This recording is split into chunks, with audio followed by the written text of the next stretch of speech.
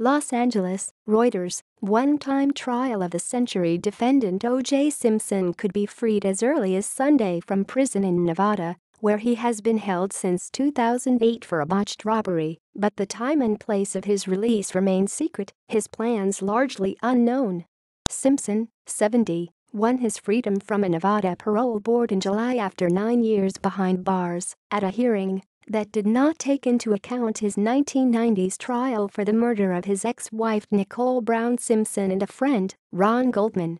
The one-time football star turned actor and TV pitchman nicknamed the Juice during his playing career was found not guilty in 1995 following that sensational 13-month trial in Los Angeles, which was televised live daily, transfixing much of the nation.